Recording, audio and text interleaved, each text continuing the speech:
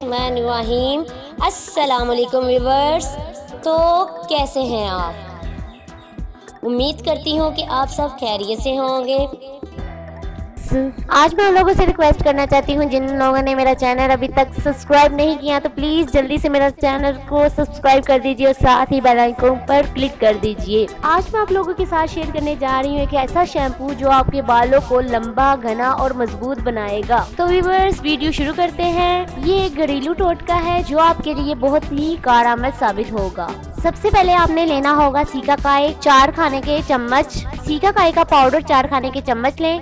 नींबू के छिलके पीसे हुए पाँच अदर मेथी दाने पीसा हुआ चार खाने के चम्मच, आंवला रेठा पीसा हुआ दो खाने के चम्मच ले लीजिए इन तमाम अज्जा का पाउडर रात भर के लिए पानी में भिगो दें। सुबह पानी को छाने बगैर इससे बाल धो लें। इसके मुसलसल इस्तेमाल से आपके बाल लंबे, घने, मज़बूत, रेशम की तरह सिल्की हो जाएँगे। प्लीज़ मेरी वीडियो को ज़्यादा से ज़्यादा शेयर करें ताकि दूसरों को भी फ़ायदा हो सके। इस रेमेडी को ज़रूर यूज़ कीजिए और मुझे कमेंट्स में बताइए कि आप पर कैसा रिज़ल्ट हुआ है। अगर वीडियो पसंद आई हो तो हमारे चैनल को सब्सक्राइब लाइक और शेयर ज़रूर कीजिए। थैंक्स फॉर वॉचिंग वीडियो मिलते हैं एक और वीडियो के साथ। तब तक के लिए अल्लाह हाफिज।